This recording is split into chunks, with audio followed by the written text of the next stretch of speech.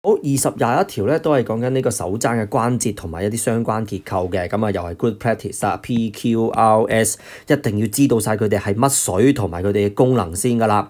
咁樣咧，今次第十條就問你啦，邊個結構咧係有彈性嘅？咁我哋即刻去揾翻啦。Tendon 咧就係、是、冇彈性嘅，synovial membrane 咧佢係一個 纖維嘅膜啦，佢咧的確係有一啲彈性嘅組織嘅，咁啊骨頭就唔使審噶啦，較為硬淨嘅，咁啊軟骨咧。 都系有弹性，咁所以答案咧就会系 C 啦。So questions twenty and twenty one is referring to this diagram showing the elbow joint and the associated structures. So for the structure PQRS, so as the group practice, we label it first, and then we also need to recall the function and the features of these structures.